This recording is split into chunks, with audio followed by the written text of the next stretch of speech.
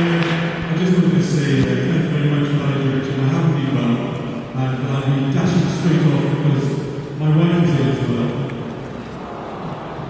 Oh shit, that tonsillitis.